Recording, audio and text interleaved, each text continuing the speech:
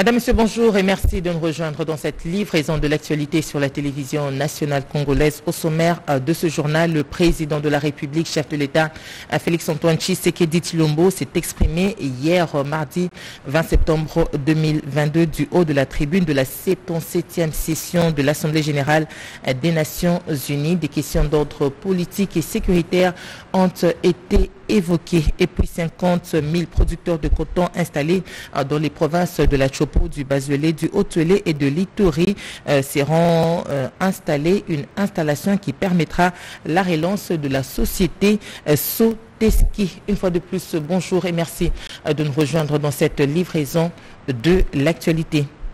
À New York, plus d'une centaine de chefs d'État et de gouvernement se succèdent du haut de la tribune de la 77e session des Nations Unies. Je vous prie de suivre euh, le discours du chef de l'État Félix-Antoine Tshisekedi Chilombo dans ce duplex de notre confrère aux Nations Unies.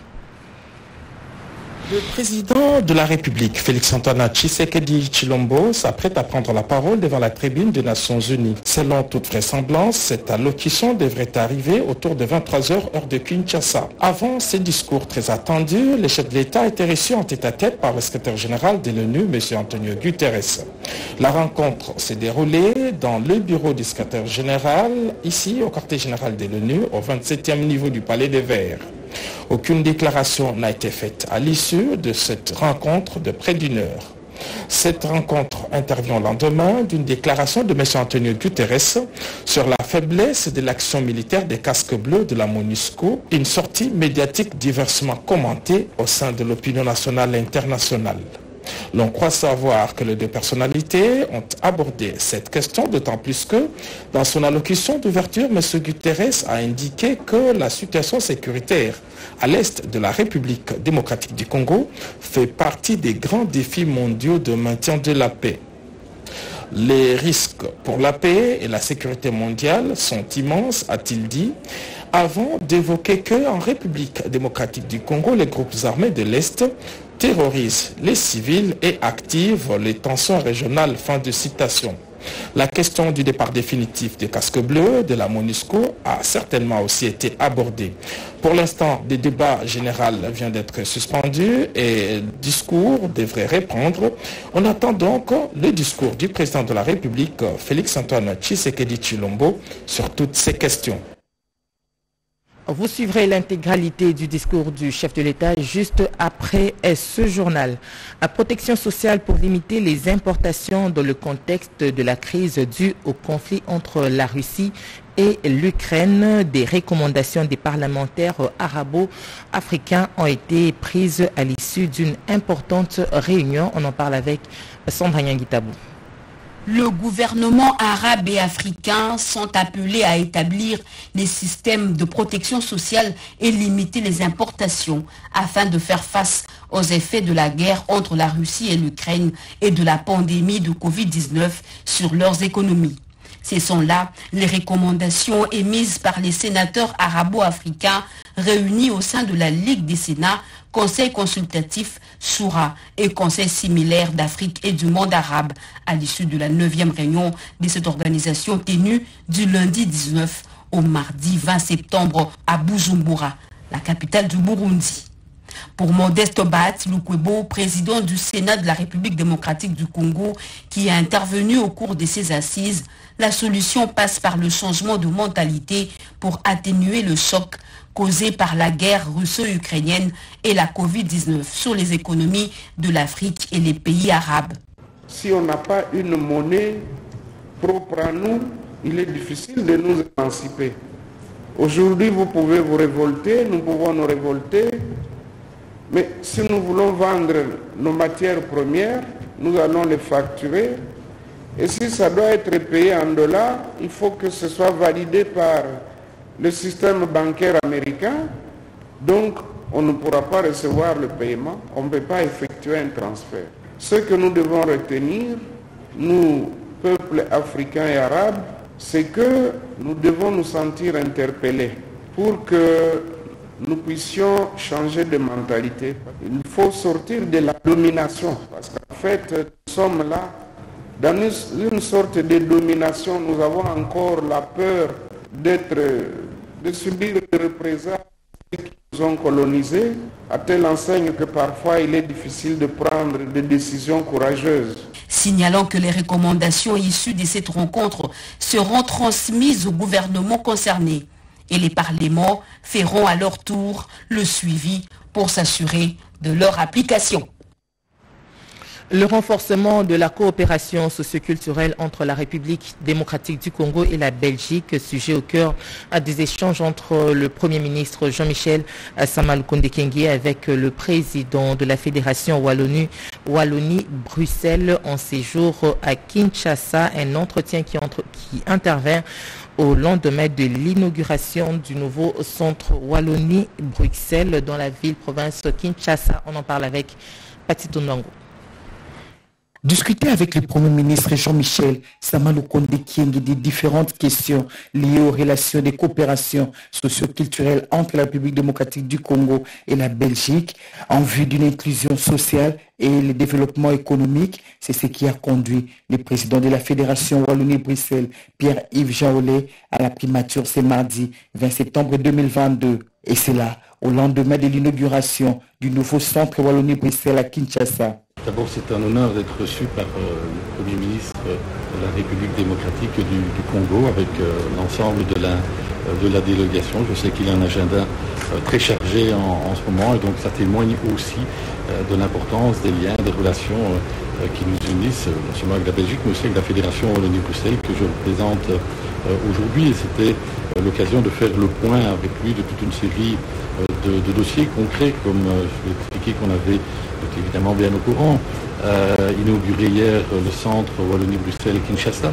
Il faut savoir que dans le cadre de la, coopération, la Fédération Wallonie-Bruxelles, c'est le seul centre Wallonie-Bruxelles international culturel avec euh, Paris euh, en, France. Donc ça témoigne aussi des, liens qui, nous unissent et de l'importance aussi de, la culture, de la création culturelle, de la création artistique, vecteur aussi d'inclusion sociale, vecteur aussi de développement euh, économique. Nous avons aussi, aussi hier euh, signé euh, avec le ministère de l'enseignement primaire, secondaire et, professionnel une convention importante qui prolonge en fait ce qu'on a déjà fait depuis plus de dix ans, c'est la formation à distance des maîtres et des enseignants.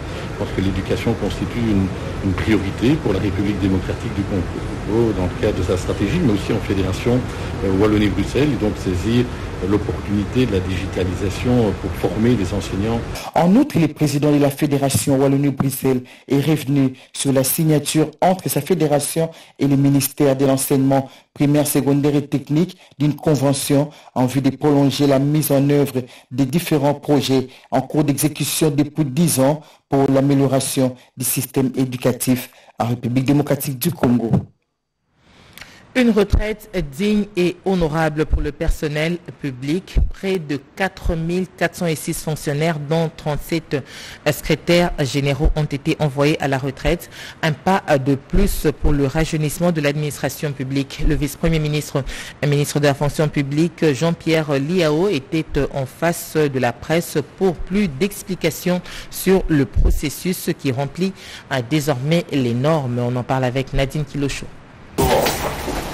Mise en veilleuse depuis plusieurs décennies, le processus de mise à la retraite a été relancé par le vice-premier ministre, ministre de la fonction publique, Jean-Pierre Liaou, en exécution des instructions du chef de l'État, Félix-Antoine Tshisekedi Chilombo, cela dans le but de rendre la dignité aux fonctionnaires, en rendant fluide le processus de la mise à la retraite. Devant la presse, le vice-premier ministre, ministre en charge de la fonction publique, Jean-Pierre Liaou, a martelé sur la volonté politique et la détermination du premier ministre de matérialiser les directives du chef de l'État en matière de la mise à la retraite digne et du rajeunissement de l'administration publique. La signature euh, diligente de ces actes par la haute hiérarchie est un signal fort des ruptures euh, avec les mauvaises habitudes du passé et de ce fait jette les bases d'une réforme profonde du système de retraite euh, dans notre pays. Et pour cette première vague, 4406 fonctionnaires, dont 37 secrétaires généraux, ont été envoyés à la retraite. Là, on ne parle pas de 1000, de 2000, de 3000. On parle de 10 000 pour une même année et de 30 000 pour l'année prochaine. C'est dire la détermination, la volonté du gouvernement suivant la volonté du président de la République. Le processus de mise à la retraite entamé va libérer des postes au sein de l'administration publique et ouvrir les opportunités des avancements en grades. Pour le VPM Jean-Pierre Liaou, ce processus de la mise à la retraite est irréversible et la fluidité de ce processus va permettre le rajeunissement de l'administration publique avec le recrutement des jeunes plus méritants et plus compétents, ainsi mettre fin au système de privilèges. Rencontre entre la présidente de la Fondation, Denise Nyakieru Tshisekedi, et la représentante du secrétaire général des Nations Unies sur les violences sexuelles liées au conflit. C'était autour des questions de la prise en charge des violences basées sur les genres. L'idée est de créer un fonds de réparation. On en parle avec Naïcha Kialamouila. Ce sont plus que des simples retrouvailles pour ces deux personnalités liées par une cause commune, celle des victimes des violences sexuelles. Les chaleureuses accolades entre Denise Nichiruchi Sekidi et Pramila Paten ont très vite laissé place à une série d'échanges. Des heures de discussion autour des questions globales et spécifiques de la prise en charge des victimes des violences sexuelles en République démocratique du Congo et dans la région des Grands Lacs. L'initiative de la Première Dame de créer un fonds de réparation et le projet de loi portant principes fondamentaux relatifs à la protection des victimes des violences sexuelles liées au conflit et autres crimes graves a eu des échos outre-Atlantique. La représentante du secrétaire général des Nations Unies sur la violence sexuelle dans les conflits n'a pas caché son enthousiasme pour ce projet, le premier en Afrique, et qui pourrait servir de modèle à d'autres dans le principe de réparation. La première dame de la RDC est ma première championne globale sur la prévention et la réplique aux violences sexuelles liées au conflit. L'année dernière, j'étais en, RDC pour le lancement du fonds de réparation et c'est vraiment une étape importante dans, euh, l'histoire de la RDC qui non seulement reconnaît euh, l'ampleur des violences sexuelles en RDC, mais qui, apporte son soutien à travers les, réparations. J'ai euh, euh, présenté à Madame, à la Première Dame, toutes mes félicitations, mais aussi le soutien de mon bureau en ce qu'il s'agit de, l'avant-projet de loi assurer, assurer qu'elle soit un, modèle de, loi, mais aussi nous avons discuté de sa mise en œuvre après. La maîtrise de ces questions par la première dame de la République lui vaut des sollicitations en plus d'être championne globale des Nations Unies pour la lutte contre les violences sexuelles liées au conflit.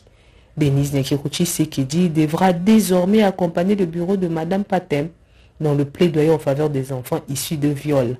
Nous avons eu une rencontre conjointe avec le CEO de Global Tree Fund, M. Arnaud Moran, qui euh, souhaiterait euh, faire un projet, initier un projet euh, en RDC pour la production des, des, serviettes hygiéniques organiques réutilisables. ce sera un projet qui va, qui va embaucher plusieurs, plusieurs femmes dans les régions tant rurales que urbaines, qui souvent ne vont pas à l'école pendant, euh, pendant leur menstruation et, qui, euh, c'est, un gros handicap pour les filles en, Afrique en, général. Au panel organisé par le bureau de la représentante spéciale du secrétaire général des Nations Unies, Madame Pramila Paten, la première dame de la RDC, prendra parole pour partager son expérience et donner en même temps des éléments importants de sa vision sur la prévention des violences sexuelles liées au conflit panel prévu pour ce mercredi 21 septembre 2022 en marche de la 77e Assemblée générale des Nations Unies qui se tient à New York. Les gouverneurs des provinces du Tanganyika et du Sud Kivu ont pris part aux assises de Dar Salam pour l'amélioration euh, du port lacustre des projets visant des échanges euh, des projets visant des échanges de volume entre les deux pays ont été évoqués. José Baïtombo nous en dit plus. Les Tanganyika et les Sud Kivu, deux provinces qui partagent des milliers de kilomètres de frontières lacustres avec la République unie de Tanzanie et en même temps bénéficiaires des accords sortis de la troisième grande commission mixte RDC-Tanzanie, de quoi réjouir les deux gouverneurs présents à ces assises tenues à Dar es Salaam. Euh, c'est très important pour nos populations et surtout cela renforcerait effectivement les relations entre euh, nos deux pays et particulièrement entre la province du Sud Et, les provinces euh, de la Tanzanie. Quand ce projet sera mis en œuvre, et ça va encore renforcer la capacité économique de la province de Tanganyika. L'aménagement des ports lacustres dans ces deux provinces et autres, les deux gouverneurs accompagnés des autres participants à cette rencontre, entre autres Jean-Pierre Moulumba Betou, secrétaire particulier du vice-premier ministre, ministre de l'Intérieur et Sécurité, ont eu droit à la visite du port de Dar es Salaam, principale porte d'entrée et débouché maritime de la Tanzanie et métronome dans le flux commerciaux de pays du corridor central Plusieurs autres projets visant à faciliter et augmenter les volumes d'échanges avec les États voisins sont en cours. Les projets, notamment celui de chemin de fer à écartement standard qui partira de Kigoma ou Visa, Kidega, Musongati, Bujumbura Uvira et Kindu, respectivement en Tanzanie, Burundi et en RDC pour ne citer que cela. De quoi attirer l'admiration de la délégation congolaise, plus de facilité aux exportateurs congolais. Le directeur général de Tanzanie Port Authority TPA a insisté sur la détermination de Dar es Salaam de booster les échanges commerciaux entre la RDC et la Tanzanie. Promouvoir les systèmes de surveillance en Afrique, repenser le cadre de surveillance intégré des maladies et les réponses, des sujets débattus au cours d'une séance de travail entre le ministre de l'Agriculture Désiré Ndinga et les représentants de l'OMS Mauritanie et de la RDC. On en parle avec Marthe Mangazakalala. Ces groupes organiques de préparation des secours du bureau régional de l'OMS pour l'Afrique collaborent avec les gouvernements des pays de la région africaine pour renforcer leur capacité à prévenir, à préparer, à détecter les situations d'urgence sanitaire et à y riposter. Parmi les 47 pays figure la République démocratique du Congo. C'est la raison de cette séance de travail sur l'assurance de la sécurité sanitaire dans la région présidée par le ministre de l'Agriculture Désiré Nzingabirianze avec les représentants de l'OMS en RDC et celle de la Mauritanie, Dr Ndiaye Fatih Charlotte. L'Organisation mondiale de la santé va se charger de former ce corps d'élite et de le doter d'équipements nécessaires à pouvoir assurer leur déploiement. Nous allons également permettre à nos pays renforcer le système de surveillance épidémiologique pour euh, qu'on soit dans n'importe quelle province de la RDC, on soit capable de pouvoir recevoir, recevoir les données en temps réel. Cette initiative va s'appuyer sur les règlements sanitaires internationaux, le guide technique de surveillance intégré des maladies et ripostes, ainsi que les plans d'action nationaux pour la sécurité sanitaire de pays. La République démocratique du Congo va disposer dans les tout prochains jours d'une politique nationale de protection sociale avec pour objectif de permettre aux plus vulnérables d'accéder aux soins de santé et une prise en charge efficace. Une réunion préparatoire a réuni les représentants du système des Nations Unies et, des établissements du secteur public pour la sécurité sociale. Edith Chala. La République démocratique du Congo va disposer d'une politique nationale de protection sociale qui permette aux plus vulnérables d'avoir droit aux soins de santé et à une prise en charge efficace. Cette réunion préparatoire qui a regroupé les représentants du système des Nations Unies, les établissements publics ayant à voir avec la sécurité sociale s'inscrit dans cette dynamique. Le ministre des Affaires sociales, Solidarité nationale et Action humanitaire, Modeste Moutinga Moutuchai, a ouvert les travaux qui conduiront aux premières ébauches jusqu'au document final de politique nationale de protection sociale. La Constitution nous oblige d'élaborer une loi euh, portant principes fondamentaux de protection des groupes vulnérables. C'est une obligation constitutionnelle. Tout ce que nous allons faire, le dialogue que nous allons euh, organiser doit nous conduire à la préparation de ce projet de loi. Après ce discours circonstanciel du ministre, place était aux présentations des interventions comme celle du directeur d'études et planification du ministère des Affaires sociales, Eric Nkiana Bijimba. Nous sommes en train de préparer la première édition de ces assises qui vont euh, réunir toutes les parties prenantes en RDC qui implémentent ou qui mettent en œuvre des programmes sociaux ciblant les populations vulnérables pour réfléchir ensemble, faire un état de lieux, une évaluation, mais également proposer une feuille de route euh, pour les prochaines années. Et Dalis Mirimo, directrice générale du Fonds national de promotion et des services sociaux. Je devais aussi faire participer les actions et les niveaux de réalisation des réformes sociales qui sont en cours au niveau du Fonds national de promotion et de services sociaux. Et au bureau au, bureau technique de contrôle BTC. C'est ce mardi que le nouveau mandataire nommé par le président de la République ont été installés au cours d'une cérémonie de remise reprise. Mavar Taye succède à Léon Chioyo. On en parle dans ce reportage de William Tunakov. C'est après trois semaines depuis sa nomination par ordonnance présidentielle du 31 août 2022 à la tête du Bureau technique des contrôles, BTC, que Jean-Aimé Mavar Tailley a pris officiellement ses fonctions du directeur général ce mardi 20 septembre 2022 au siège social de cet établissement public à Kinshasa-Gombe.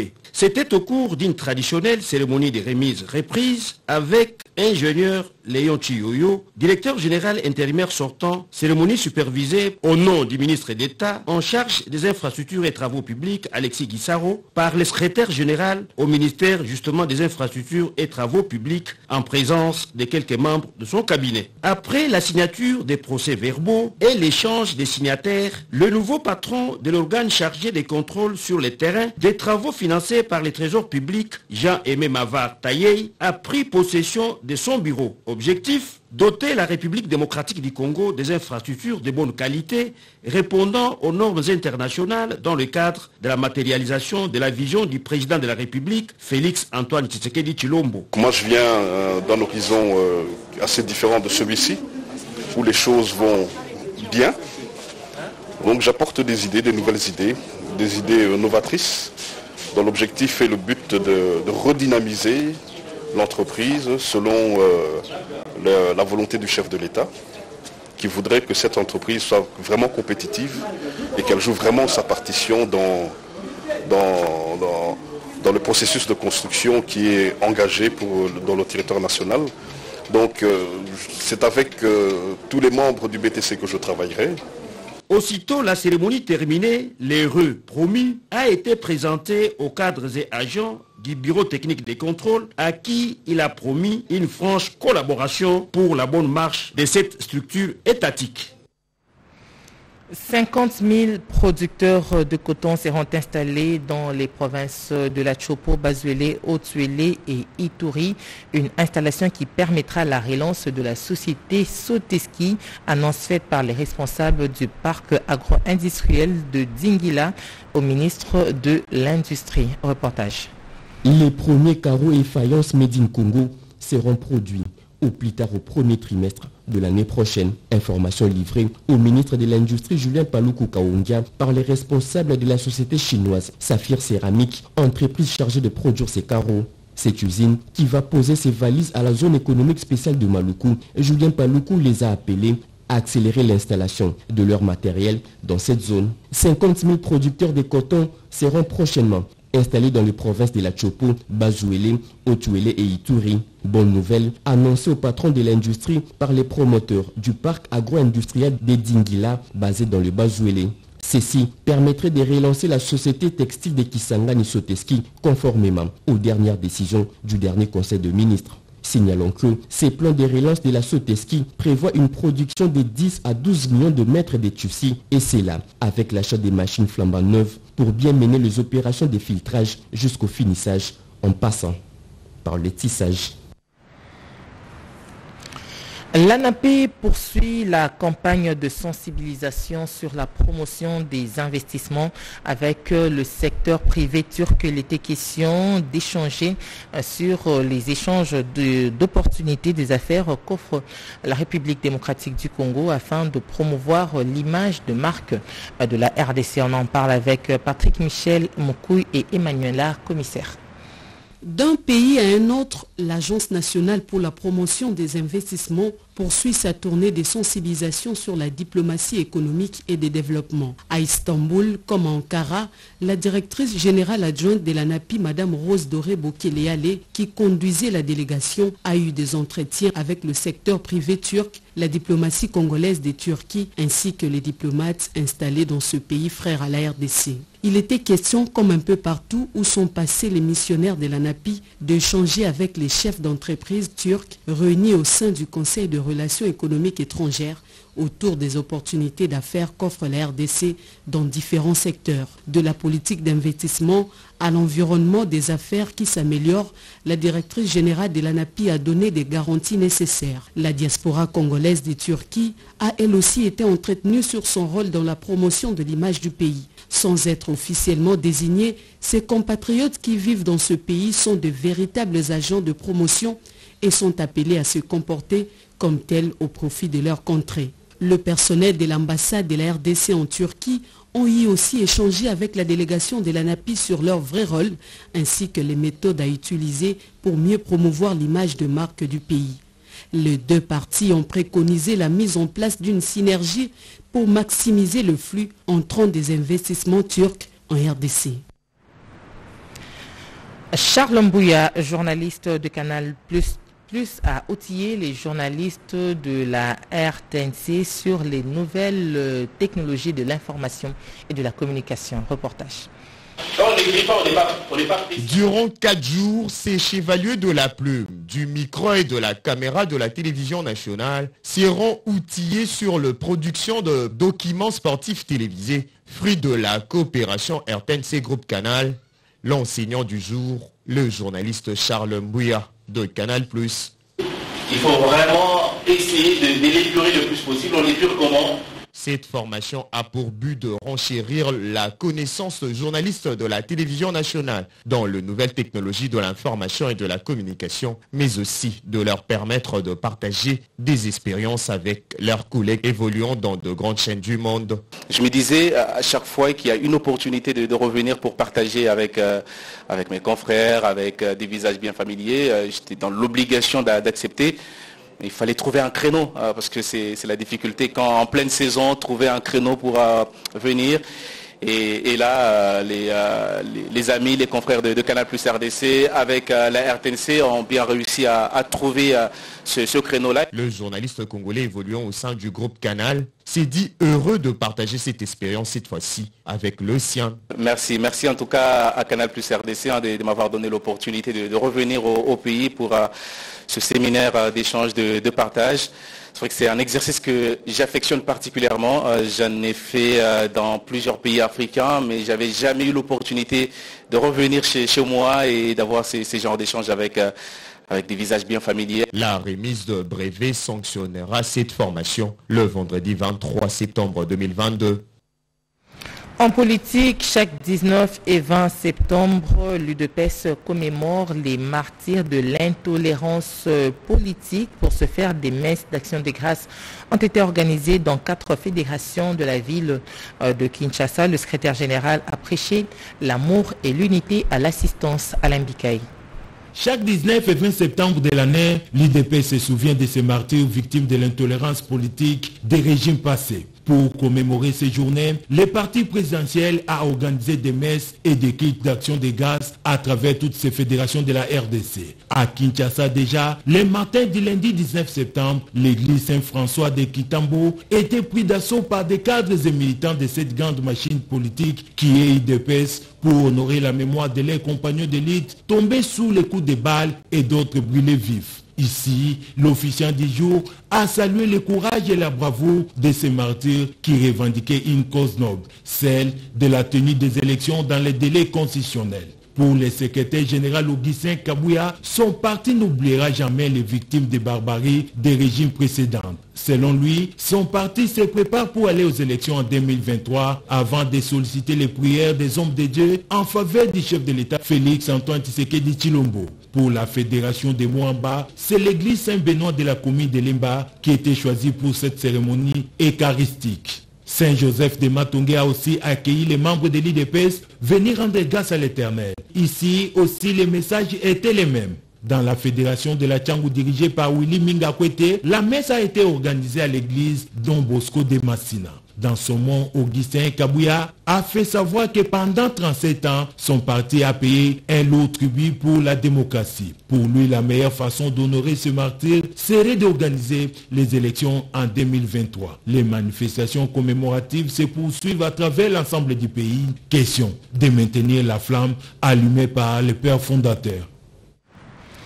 Après la cérémonie du lancement des opérations conjointes au Salama 8, le commissaire général de la police nationale congolaise, le général Dieudonné Amouli Baingwa, a reçu les sportifs de la PNC venus de Tanzanie dans le cadre d'une compétition sportive. On en parle avec Iverson Kabwaba.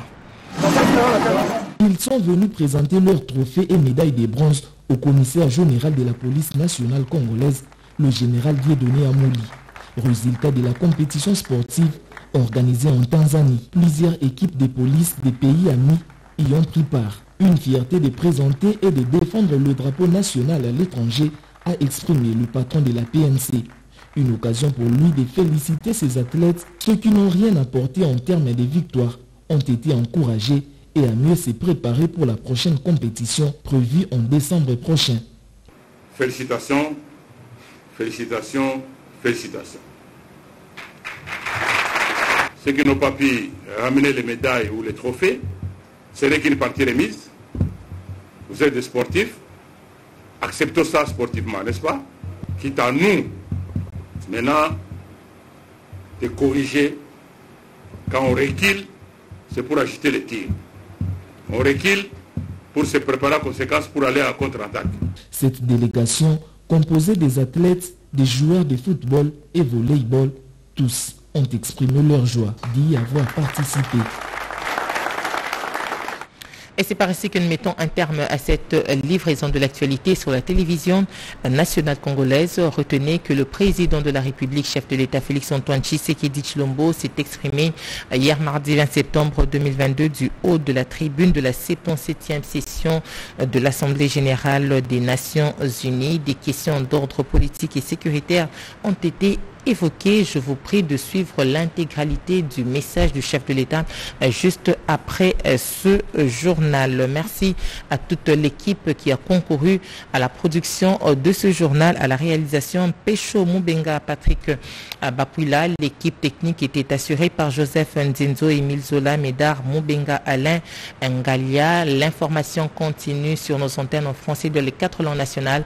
13h30, Bobo Anan Mokondi. Ce journal a été coordonné par Robert Ndai Chisansé. Au revoir et à la prochaine.